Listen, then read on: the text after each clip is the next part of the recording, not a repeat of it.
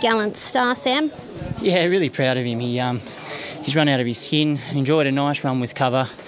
Um, let down really well. Just credit to the winner because it really zipped at the 300. But my fellow was pegging it back, but just beaten better by a better horse in the day. But uh, he's gone terrific, my horse. Tommy Rapidash. Um, yeah, he uh, uh, was. She was unlucky. Lake Shin Rainbow Connection.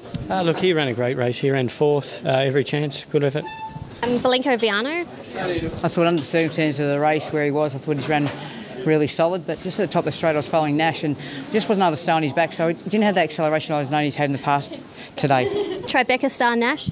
Yeah, look, he didn't quite really see the trip out. Um, he felt the winner at one stage, just didn't quite set out. Atmospheric Rock Jason. Probably found the 14 a bit, bit far. Associate Zac Lloyd. Uh, yeah, a bit disappointing. I was um, ex- expecting a better run. He uh, just felt to me may have resented the track a bit. Andy's boy Jay Ford. Yeah, look, he's far better than that. Um, I just think he's come to the end of things. He uh, he was abnormally very quiet today, and that sort of showed in the run. Ozstar. Yeah, I thought he ran well. Probably just a touch out of his grade today. Listen to the band, Jake. Not one of my best. He's got four deep, stuck four deep. I was happy with his efforts. Reece Jones, Sharp Shock.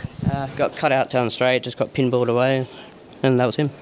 Musical Affair, Rachel. Uh, showed that really good speed, but got a bit bogged down on the track.